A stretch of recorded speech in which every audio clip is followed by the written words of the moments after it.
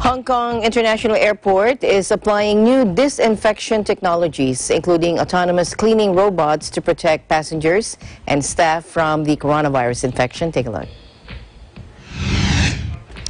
Now, Hong Kong International Airport is testing this full-body disinfection channel facility dubbed Clean Tech in live operations. It's a fully enclosed facility that offers complete disinfection and sanitizing procedures to users within 40 seconds. The antimicrobial coating in the interior surface of the channel kills bacteria and viruses on human bodies.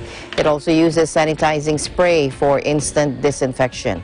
The facility is currently designated for use by staff involved in public health and quarantine duties at the airport in relation to arriving passengers. Furthermore, uh, it's conducting a, uh, pilot test of uh, applying antimicrobial coating at all passenger facilities in a bid to prevent contamination. Hong Kong International Airport said it will consider implementing it as long as a long-term disinfection measure after the completion of the trial in May.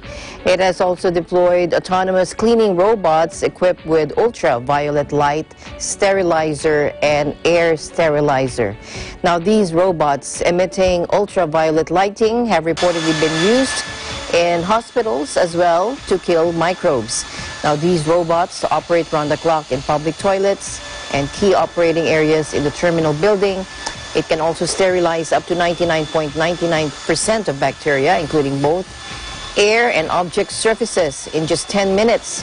The airport is also using five Whiz robots, which are self-driving